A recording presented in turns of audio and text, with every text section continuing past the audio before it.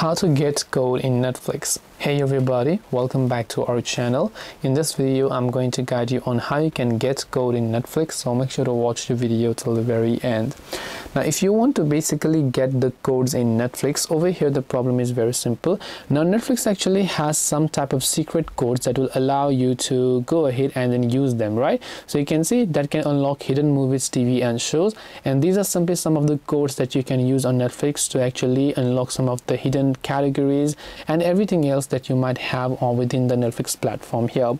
This way you will be able to get code on Netflix. You can simply search for them in Google. Hope this video was very helpful. If you have got any questions, feel free to leave them down below. Thank you very much for watching till the very end of this tutorial and see you soon in our next video.